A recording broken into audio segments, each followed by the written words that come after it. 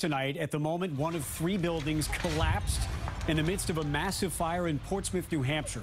All three buildings with homes and businesses now gone.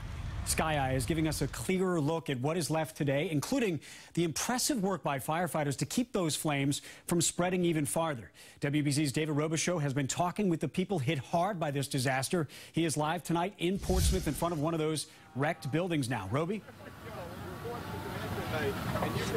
More than 100 firefighters from three states were involved in battling this blaze. This building was 167 years old.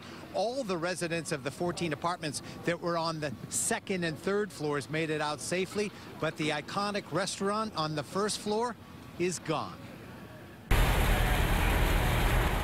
Unfathomable. That's how one local merchant described the scene unfolding in front of her.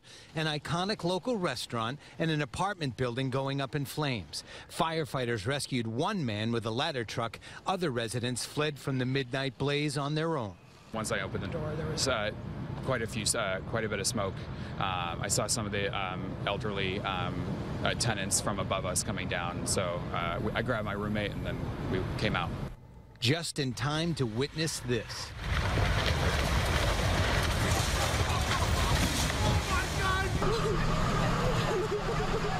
This was emotional for a lot of local residents and businesses in Portsmouth. Under all that rubble is the well-known gathering spot, the State Street Saloon. It has been here forever. It was a home to a lot of people. It was where they went uh, after work. It was where they went on the weekends. It was where people would gather. The owner of the saloon, Eli Sorcarellis, looked at the smoky ruins escorted by the state fire marshal. He was thinking about all his loyal employees who are now without work and the impact his restaurant has had on so many.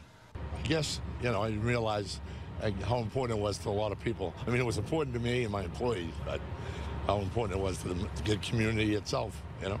How's your heart doing this morning looking well, at Well, heavy, it's heavy, but I'm okay. Sure, his heart is heavier now as you look out live at this building being torn down. It was constructed in 1850. The State Street Saloon went into business about 35 years ago. The fire chief said this could have consumed the whole block, and he praised the efforts of all the fire departments involved from the various towns from three states as far away as York, Maine. The official cause still under investigation. Live in Portsmouth, New Hampshire, I'm David Robichaud, WBZ News. Roby.